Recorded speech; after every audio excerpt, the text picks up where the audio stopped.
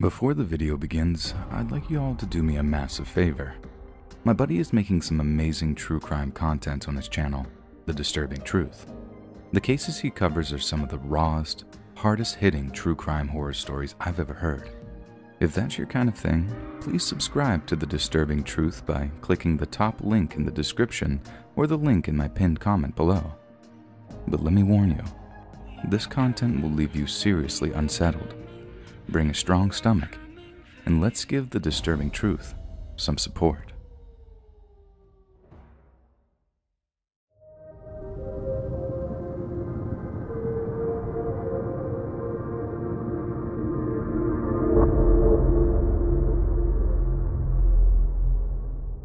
I was a fresh faced graduate from high school.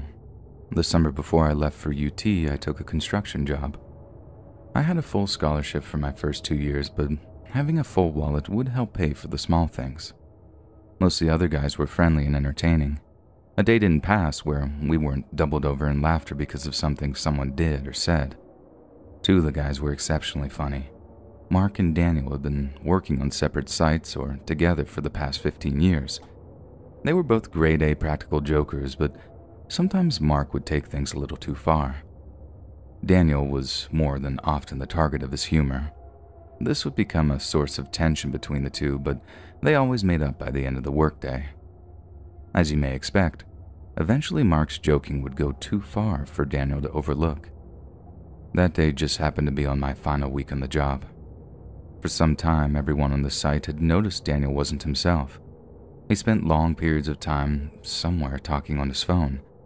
When he wasn't gone, he seemed constantly agitated. His usual happy go lucky manner had disappeared. We'd all tried our best to make him laugh, but nothing had worked. Not even Mark could do it. As time went on, we all began to believe his troubles were about his girlfriend. When Mark heard about this, he couldn't stop himself from poking at the sore spot. On this day, Daniel had gone on the phone, and when he came back, Mark started joking around. What's wrong, Danny boy? Are you having troubles at home? Is your old lady getting the bone from the mailman? The verbal jabs only served to annoy Daniel even further. He said nothing. Instead, he just stared at Mark like he was going to burn through him with his eyes. Mark wasn't going to let his bad mood get in the way of getting a laugh.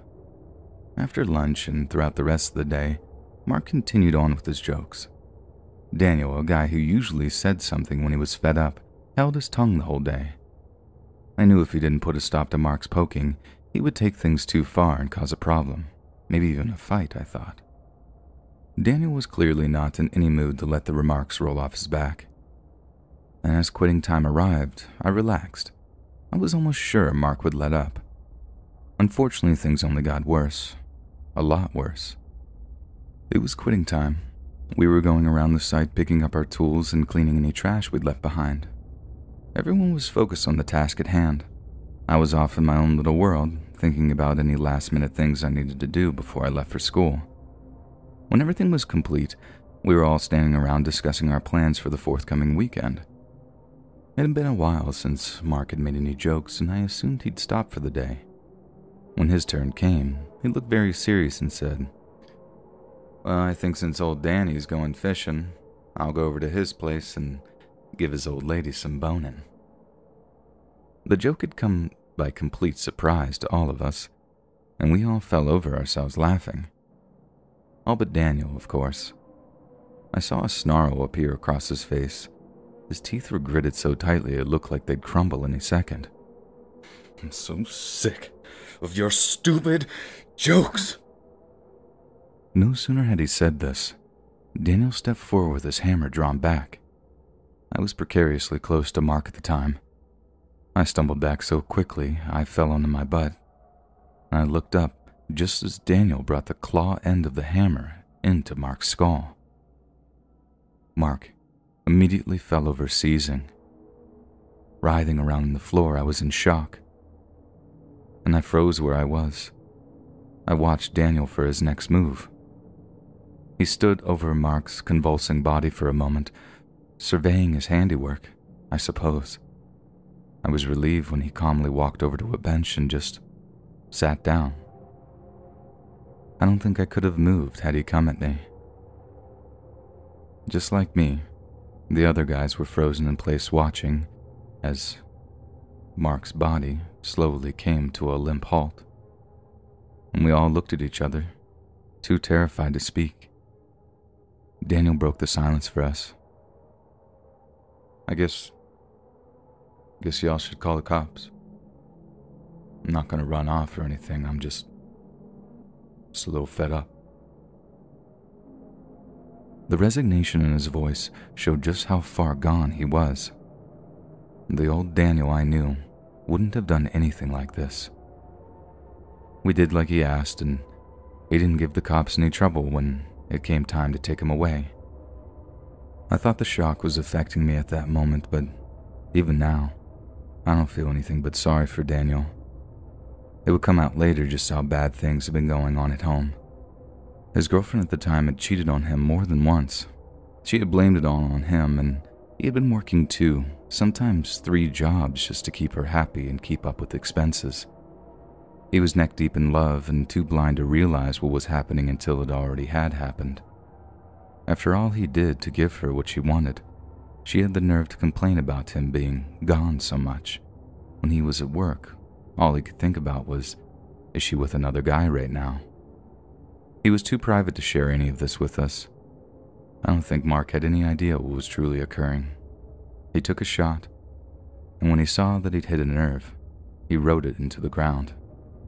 And he did that a lot, and I suppose this turned out to be one too many. I'm sometimes still in shock when I sit back and think about how quickly his life left his body, even in those last few convulsing moments. All of us offered to serve as character witnesses, but it turned out not to be necessary. A deal was struck, and Daniel agreed to serve 15 years. He's been offered parole in the intervening years, but declined it. With his release date soon approaching, I hope he's able to get his life back together and move beyond the shadow of this crime of passion, I suppose you could say. I've saved the most important person in the story for last. Mark's story obviously ended on that job site. Some readers may wonder why Daniel had received so much sympathy and Mark so little. Well, the truth is, although he was a really funny guy, that was about all he had going for him. I said already how far he would push Daniel with his joking. Heck, some folks may call it bullying these days, and I'd say they'd be right. He didn't do that to just Daniel. Not one of us evaded his comedic jabs. And that was far from his worst trait, though. Even around a bunch of East Texas rednecks, Mark's racism was off putting. Like with his jokes, not a single culture was off limits, and he wasn't afraid to say it. I won't even get into his views on women. I'll just sum it up by saying Mark was not a good person. Funny people tend to get away with things us other folks can't. However, even when you're making people laugh, there's a line, and unfortunately for Mark, he crossed it. One time too many.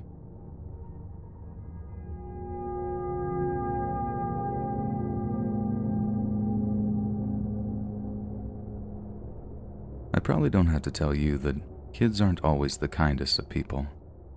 When you're growing up, you are learning wrong and right in real time. Kids often do and say things grown ups would scoff at. Some things you could call cruel, and none of us reached adulthood without being guilty of these misdemeanors either. Not even me. Some may reach the end of the story and find me guilty of being one of the worst, and I'm willing to suffer that fate. I may even agree with you. After all, when I was 12, I helped kill a man. Once I reached the age of 14, I passed in the world of Latchkey Kid, a phenomenon I'm not even sure exists anymore. However, for a few years prior to that, I was forced to spend my time out of school at a local large scale daycare center. I know my folks had no other choice at the time, but the experience was bristling, especially in the summers. I had been free to run unattended since birth. I still don't look back favorably on that time, and my feelings about being stuck in daycare is another story for another time. You're here to hear about my crime. Well, during the summers, the daycare had to find a way to keep hundreds of kids, some almost as old as 16, busy. Since the center happened to be located near the downtown area, they used this to their advantage. Several attractions were within walking distance. The most often visited and my favorite was the city library. At least once a month, we'd be grouped together and march the quarter of a mile or so to the place. On the walk there, the group would pass places like the old post office and several large churches. One of these churches had a spire that was easily 50 to 75 feet in the air. I'm not sure the exact height, but to the child's eyes, it might as well have been a thousand feet. Suffice to say, you wouldn't want to fall from the top of it. One particular day, our group was marching to the library and had stopped across from the church. Someone had noticed a man working at the very top of the spire. I couldn't tell you what he was doing, but to us, he was a prime target for our harassment. I have no idea who said it first, but once the initial call for fall down, fall down was heard, most of the other boys joined in. It's not a thing I say with any pride, but it's what happened. The ghoulish chant went on for another few seconds until our monitor told us to shut up. Unfortunately, her demands came too late. No more had the yells ceased than a snapping was heard. The snapping was quickly followed by the horrible sight of the following man. Everyone had seen it happen. Fortunately, his body landed on the opposite side of the building, and our young eyes were prevented from seeing his ultimate demise. As you can guess, the incident caused quite a stir. Several of the girls began screaming crying. I was in total shock for my part. The lady did all she could do and rushed us back to the daycare. I don't recall much discussion upon our return. The girls were comforted, and us boys, we may have mumbled a bit about it to our friends, but no one seemed to want to relive it. These days, I'm sure droves of psychologists and counselors would have been called in to make us talk about it incessantly. This was the 80s, though. People dealt with trauma in much different ways. Whether you agree or not, that was the way things were. Around the center, the incident was quickly forgotten. Although a kid would bring it up from time to time, most of us, especially those who witnessed it, just wanted to forget. I still have no idea if my parents were notified about it.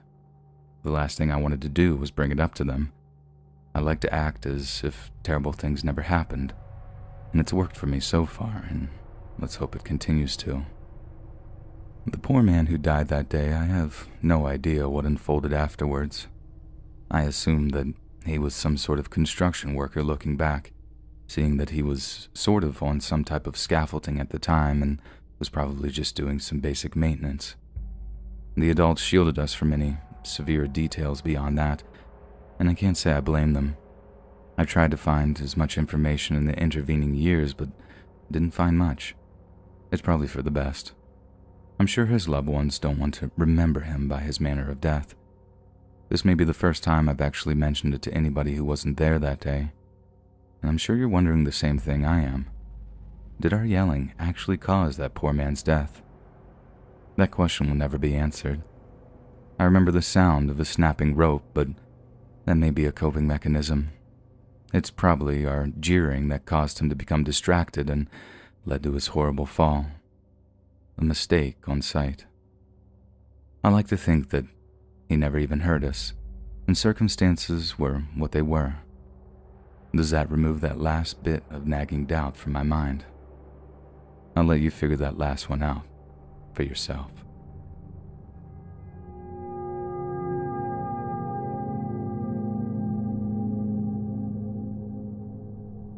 I know I'm not the only person to suffer from the financial collapse of 2008. It was far from a 1929 crash, but it did plenty of damage nonetheless. I've been working in the housing finance sector for almost 15 years when it happened. Once it became clear that there were going to be a lot of changes in the regulations, I was one of the first in my company to be let go. I don't blame the bosses. In a time so beset with uncertainty, your corporation's finances should be a primary consideration. I figured finding a job wouldn't take long. Week after week, I sent out resumes and contacted friends in the industry. I kept getting the same answer Sorry, we can't take on new people until we know where things are headed. It wasn't the reply I was hoping for, but I understood. After a few months passed, I realized I was going to have to find a new line of work.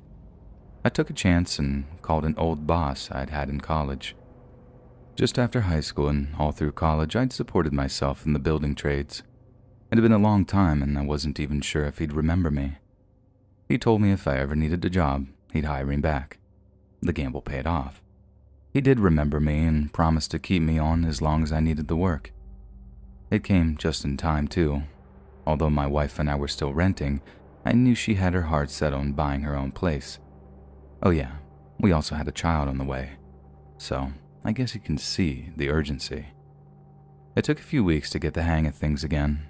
The industry had evolved greatly in the time I'd been away, but I eventually caught up. Things were going well until the morning myself and another guy were sent to repair the siding of a huge three story house in the historical district. A massive renovation was underway, and the painters couldn't start working on the outside until we finished our part. The scaffolding was already up when we arrived. I could tell from my first step the thing was thrown together fast. I gave it a quick shake and nothing fell off, so I gave it a pass. I've been on some rickety setups before, and this was solid by comparison.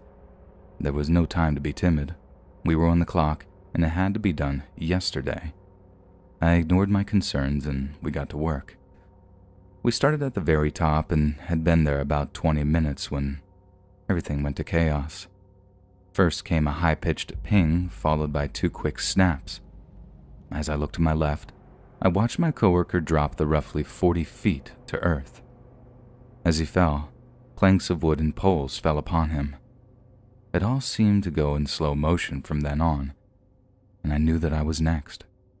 For some stupid reason, I reached out and tried to grab the siding before me. I watched long scratches appear on the cedar as the scaffolding dropped below. I tensed up and prepared for my landing. When it did finally come, I believe that I lost consciousness for a few seconds. I felt like I'd been hit by a truck, and I can only imagine the other guy felt even worse. The whole rig, including myself, ended up crashing down upon him. We'd been taken away in separate ambulances, and understandably, I was focused on my own condition. My back turned out to be the worst of my injuries. I'll be brief and just say it had been broken in several places, and very badly. If you think I got off the worst, you'd be dead wrong. My coworker had major internal injuries to go along with his broken bones. While both of us would spend another week in the hospital, I'm of the opinion he will suffer the most in the long term. Our boss had been there along with our families the whole time. He'd made it crystal clear that everything would be handled by him. It was a relief to hear, but the least he could do. The oddest part to that week was the near panic he was in. This was a man who'd seen it all. He'd fought in Vietnam, neck deep in some of the heaviest fighting. Nothing would ever shake him. Once he watched a guy shoot himself in the hand with a pneumatic nail gun and didn't even blink. Almost every time I saw him that week, he came across more shaken than even my wife. And believe me, my wife was a blubbering mess. I assumed he was overly upset because he'd known me for so long. Only later did the whole truth come out.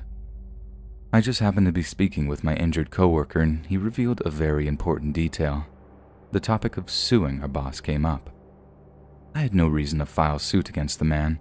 He'd been a good friend and a boss for many years, not to mention he'd taken care of anything we'd needed. My coworker brought up something I've never even considered. Who had set up the scaffold? I was the one who decided to climb the junky thing after all. I wasn't looking to blame anyone, and it turned out that he had spoken to one of the men responsible just days prior. The guy had said that scaffolding had been missing several bolts. When he offered to go back to the warehouse and get some to replace them, our boss blew him off. In fact, he looked at the thing and said, It's fine. We don't have the time to worry about a few screws. I've seen worse before. Everything, the way he'd been acting, his instance in paying for everything before it had even been mentioned, it all made so much more sense. It had been four years since the accident, and I was getting disability checks from the government. While not a lot of money, our family was able to get by. Had I known he'd been so negligent back then, both of us could have sued him into bankruptcy. And that was exactly why he was so panicked. He knew he'd screwed up. and big time. The revelation hurt me more than angered me. Some friend. He knew I would be on that scaffold. Just to save a little time and make a little more money, he neglected his workers' safety. In light of this information, I cut ties with the man. My life has been changed, definitely for the worse because of his carelessness. Just thinking of him in this moment makes me sick to my stomach. While I wouldn't call it an opportunity, I did find a place online where I can complete my education and get my accounting degree. Darn near 30 years ago, I'd been a hair away from getting it, but I took the home financing job. The money was too good to turn down. And when you're young, we don't tend to think about things in the long term.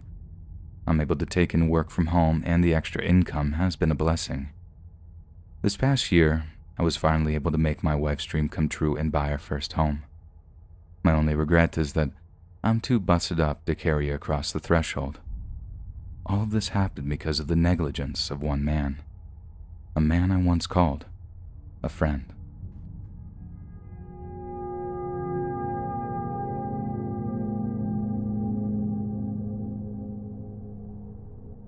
I'll open up with a small bit of backstory.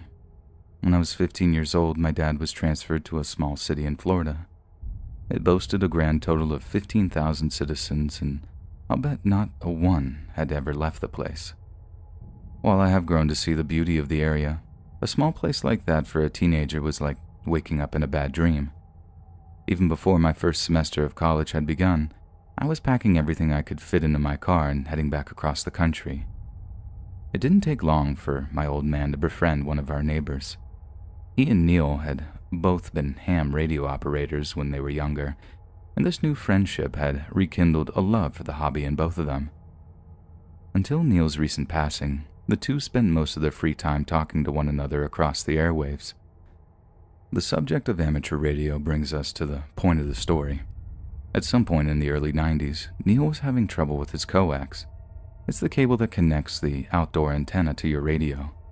Without it, you're not reaching very far. Other than a very short length outside, most of it was running through the attic down into his office. He crawled inch by inch through the attic until he discovered his problem. It appeared that a small animal had been gnawing on the cable, and Neil was livid. This variety of cable wasn't cheap. In order to prevent any future problems, he meticulously tracked down any small hole or crack in the facade of his house and sealed them up tight. As he hoped, no further problems were had. He and my dad continued sharing their interest for the hobby until Neil's death in 2016. Upon his passing, Neil's home had been left to his son. He decided to put it up on the market, and before he could, a few repairs had to be done. He found a couple of companies able to do the work and agreed on a price. He set them to their job and waited. Within a few days, he'd received a call from one of these contractors with a shocking story. While undertaking the demolition of the deck, they had discovered a square piece of wood nailed to the house. Their curiosity took over and they pried it from the facade. The board had been covering an opening to the crawl space that led under the old house. These are common on older houses without basements. When they flashed their lights under the house, they were horrified to discover the mummified body of a human. Of course, they called the cops right away, and naturally, the authorities had some questions for him. He was just as baffled as they were. The corpse had to have been there for many years, which meant the only person who may have known the truth was dead too. An in depth investigation was launched, and after one more discussion with Neil's son, a final theory was formed. This theory would mean the unfortunate victim suffered a prolonged and miserable death not many could even imagine in their darkest of nightmares. During a second discussion, one of the detectives asked Neil's son to think back on that time, to recall any strange event, no matter how insignificant. Although difficult at first, something was triggered in his mind, a small but important piece of the puzzle. It was mere days after Neil had underwent his exhaustive shoring up of his home. He and his then teenage son had left for a long awaited skiing trip in Colorado. A week later, they returned home to a foul smell seeping in from their screened porch. Neil had attributed it to a dead squirrel or rat, perhaps trapped there after the shoring up. When he asked what he planned to do about the stench, Neil said, Nothing. I'm not crawling back under there. It'll fade away eventually, and we don't use that rickety old porch anyways. Forget about it. And they did just that. Neither man would ever open the door again, and the smell would fade away just as Neil had predicted. This last little fact was all the detectives needed. From what they could tell, the victim had been living in the crawl space for some time. Once Neil had sealed his exit shut, his unknown tenant was doomed. With no one around to hear his pleas for help, he quickly succumbed to dehydration, a truly horrible way to die for any man. And perhaps it was better that Neil wasn't around for the ghoulish discovery. The guilt surely would have been overwhelming. Despite the large amount of press surrounding the death, Neil's son was eventually able to sell the house and disappear quickly back into anonymity.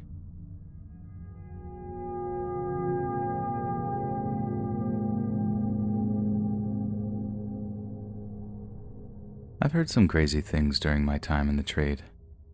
The following is a recounting of the most terrible and heartbreaking thing I'd ever encountered with my own eyes. This took place in 2017. I'd only been apprenticing as a carpenter for a few years. Our company had just won a big contract from the city. The job was to demolish a small neighborhood of abandoned homes, some going back to the 30s, and rebuild a low income housing project in its place. My job didn't begin until all the demolition was completed and the area cleared. With nothing better to do, I drove out to the site to watch the leveling and prepping of the ground. For most of the day, my boss and I hung around and BS with the guys doing the work. I'd become good friends with several of the dudes working with me. A group of us would go out on Saturday nights to drink and have a good time. Moses, a Latino fellow about my age, turned out to have grown up not two blocks from me. For some reason, we'd never met before I got on at the company. The two of us would share stories of our childhood in the old neighborhood, and we soon became good friends. Just a few weeks prior to this incident, he and his girl had asked me to move into their apartment. Their prior roommates had lost his job and had to move back home. I agreed and was in the process of packing up when this happened. Anyway, my boss and I returned after lunch. We were in the on site office talking to the big boss. He was going over some plans with us when a loud crash came from outside and a bunch of yelling started. I looked out the window and saw several of the guys running towards something. Of course, I was curious. The three of us walked over to join the others. We were still unsure of what was going on until we got about 10 yards away. Slowly, the edges of a giant hole grew larger with every step. Not until I'd reached the very precipice did I realize the full horror of what was unfolding. This huge hole was now much more. I'd heard of sinkholes, but never fully understood what they were. And that was until now. The very size of the thing had me in awe. An easy 30 yards across and at least 20 feet deep. The monstrosity had swallowed a full sized bulldozer and its driver with plenty of room to spare. And about that driver, I was afraid to ask who it was. They were nowhere to be seen and surely hadn't survived, almost as if the others could read my mind. Moses' name began to fill the air around me. Even before the emergency services arrived, we were yelling down into the dark chasm, hoping for some sign of life, no matter how small it may be. Our efforts were met by nothing but silence and the occasional crumbling sound of further collapse. There was nothing left for us to do but wait while rescue did their jobs. I'm not ashamed to say I had my fingers crossed, up to the moment his body was lifted from the hole, I held a shred of hope, there was no way to avoid the truth now. My best friend, and a very great man, was gone. The detectives allowed me to be the only one to notify Veronica of his death. When I arrived at the apartment alone, she broke down immediately. My face surely betrayed my feelings to the entire world. Despite all my attempts at being stoic, Seeing her tears burst the dam. We held each other and cried for several minutes until she eventually summoned the courage to hear my story. The repair of the sinkhole began the day after the funeral and took well over a week to complete. Returning to the site was difficult, and I could tell I wasn't the only one having a hard go of it. Time passed, and with it, work became easier. When the guys did begin talking again, most of what was said was about Moses. You really don't know how loved a person is until they die. At least that's how I saw it. A day didn't pass where one of us didn't have a great story to recall to the others. It helped ease the sadness. I realized then just how lucky I was to call him a friend. In tragedy, something beautiful sometimes comes of it. What none of us knew at the time, including Veronica herself, was that she was pregnant. At first, all we could think of was how terrible it was that Moses wouldn't be around to see his child born. However, as I thought more about it, I realized this was truly a miracle. Had he passed a week sooner, his bloodline would have died with him. When the day arrived, I was lucky enough to be the first notified of the birth of little Moses Ramirez Jr. My greatest hope now is to live long enough to see him grow into adulthood. If he becomes half the man his father was, the world will be better for having him. He has some pretty big shoes to fill, and something tells me he'll do just fine. Thank you for sharing my story, and remember to hold your loved ones close. Life is far too short.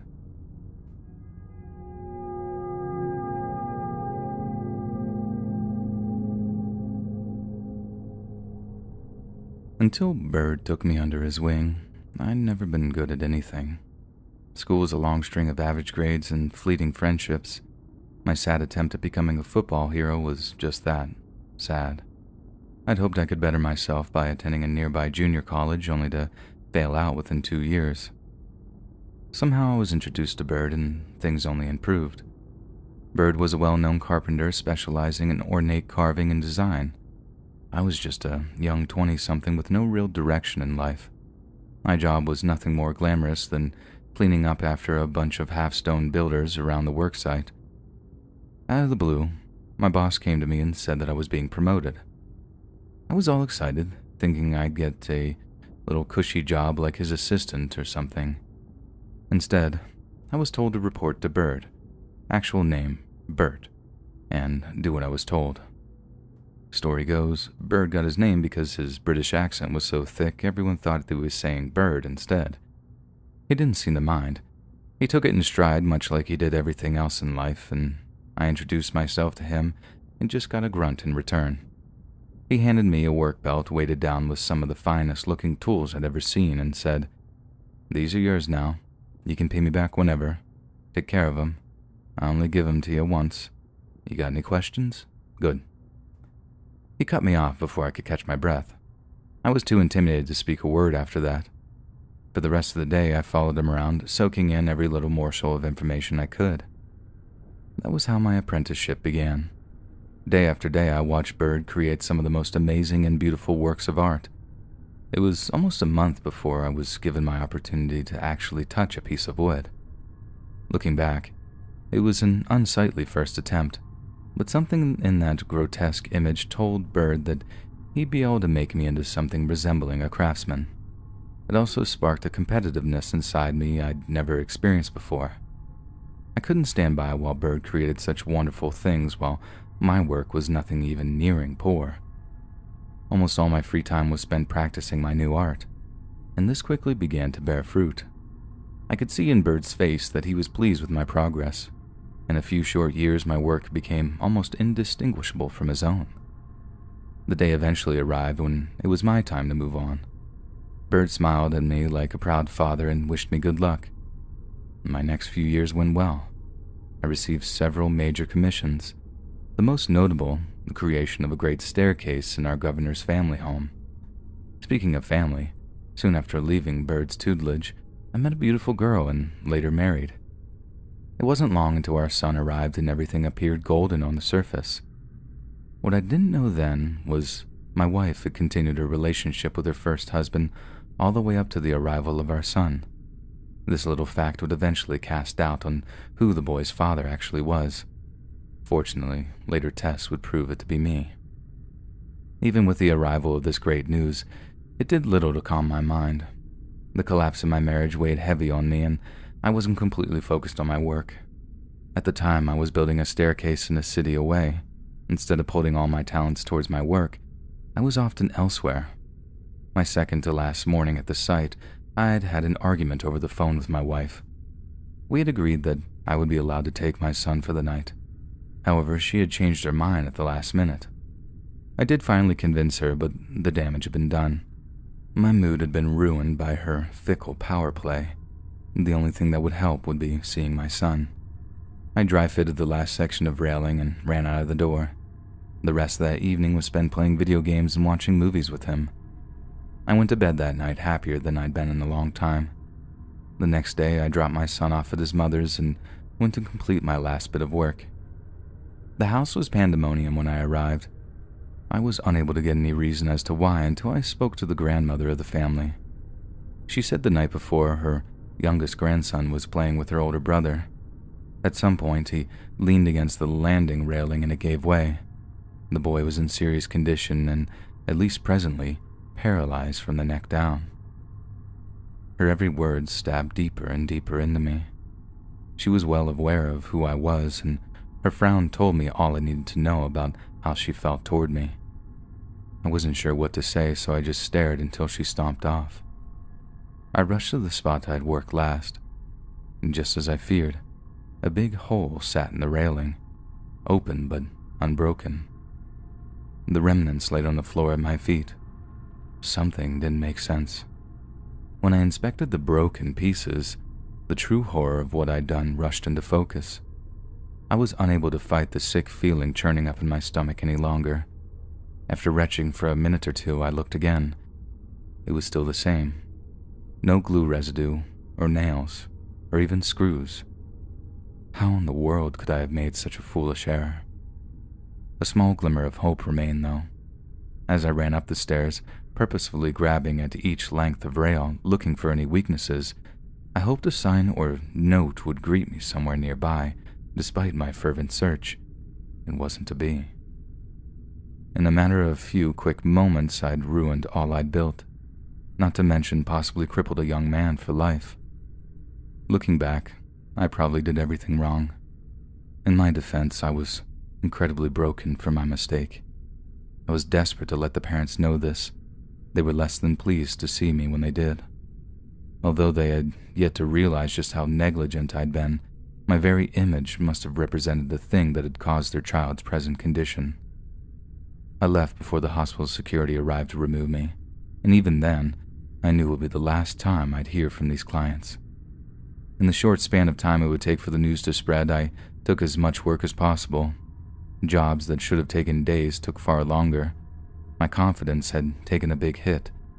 The double, no, triple checking of every move I made slowed me down, but I was determined I'd never make such a terrible mistake again, at least in the little time I had left. The day I dreaded finally came just three months later. The family's demand was an unbelievable $7.5 million, an amount not even someone as celebrated as Bird himself would ever be able to pay. Although my lawyer assured me the courts rarely awarded the initial amount, even one million would be enough to break me. If my insurance company did settle, I'd surely lose my coverage. It didn't matter. Work had dried up just as I'd feared it would, from word of mouth. And then the years passed. It's been almost 13 years since that terrible day. With no new custom work coming in, I was forced to go back to regular residential carpentry. The drop in pay was hard to deal with at first, but I got by. My insurance company did just as I feared, and they managed to get the family to settle for 375,000. A paltry amount if you ask me.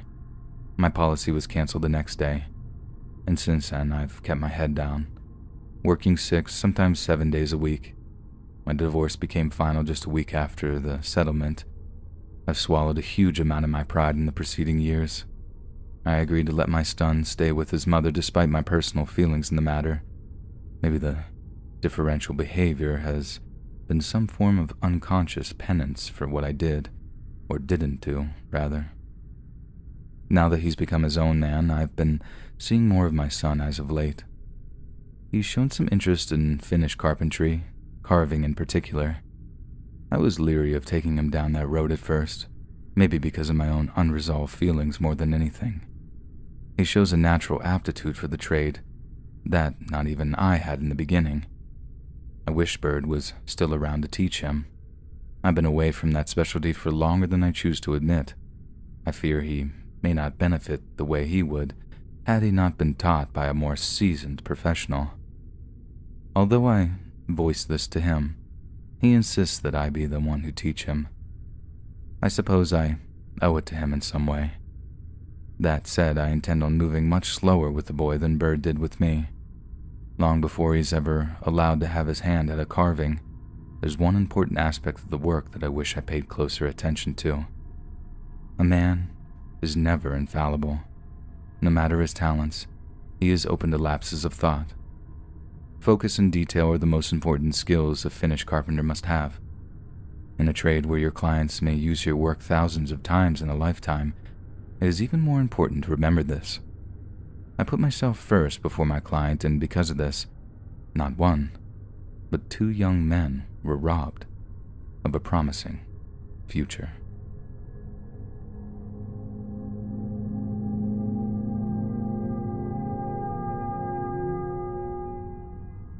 This was 2015, a much simpler and happier time. No one foresaw the god awful mess ahead of us. I've been working for myself five years, and my company was just beginning to make a real profit. My first son was on the way, and we were just months away from closing on our house. Life was the best it had ever been. That morning, a call came in for some repair work on a section of plumbing in a basement. The details were a tad sketchy, but the client was a retired widow. I wasn't expecting her to know the intricacies of her home's plumbing. After my apprentice and I finished our first job that morning, we had enough time before lunch to see what the exact problem was. The homeowner led us down the stairs and pointed out a big puddle on the floor. We poked around for a minute and found the source of the trouble, and it was a doozy. Not only was there a leaking sink next to the washer dryer, which in itself is no major problem. The water had nowhere to go because the drain in the floor had a blockage. The two of us took an early lunch and returned to the home afterwards. I decided to tackle the drain problem first. It would require a lot of work. However, before we did any of this, we'd have to move the buttload of boxes filling the basement. Normally, I would have told the client to move their own stuff, but there was no way this old, frail woman was going to be able to move all that stuff herself. According to her, her husband had been a major collector of World War I and World War II era military items. After his death, much of the collection had been sold. The remainder had been boxed up and moved down there by her daughter. A few hours of walking up and down the stairs followed until we got to the last dozen boxes. All that remained was a small stack against the wall I could see the end in sight and began moving them as fast as I was able. Only two remained, and I could finally start the real work. My apprentice grabbed the top box, so I took the last for myself. Without a second thought, I snatched it up and began to head for the stairs. Out of the corner of my eye, I noticed some movement. When I looked back, I got the shock of my life. A small snake was coiled up in the basement floor, ready to strike. A horrifying realization set in. With a heavy heart, I slowly looked down to my arm, and just above my left wrist, saw two tiny spots of blood. I knew what it meant, but I was too scared to move. When my apprentice returned, he asked what was wrong. I didn't answer. I was doing everything I could not to feel the bite. It unfortunately wasn't working. He looked down and noticed a snake. Oh man, that's a Timber rattler. Without another word, he ran upstairs to return 20 seconds later. He had a machete, which I can only guess came from one of the boxes, and I watched with disbelief as he jumped to one side and brought the blade down behind the snake's head.